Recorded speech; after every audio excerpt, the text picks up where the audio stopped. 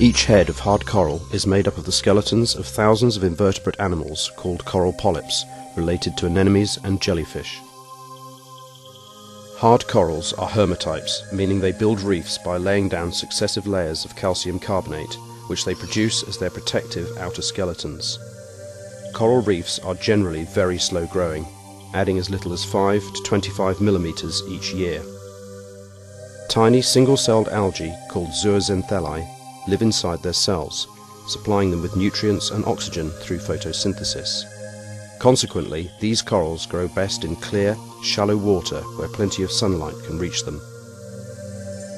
They are very sensitive to changes in water temperature and stress produced by a significant rise in temperature, possibly associated with global climate change, can cause the polyps to lose their zooxanthellae, a process known as coral bleaching which can kill the polyps.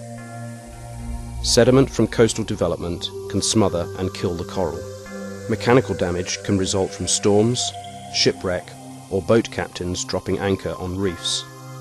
The results of all these threats can be devastating, turning the sea into a desert.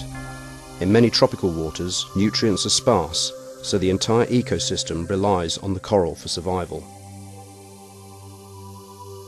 Although they cover only 1% of our ocean's area, coral reefs support 25% of marine fish making these systems vital to the health of our oceans. As coral grows so slowly, any damage to the reef can take decades to recover, if it does at all. If the coral goes, everything goes. These habitats are worth saving.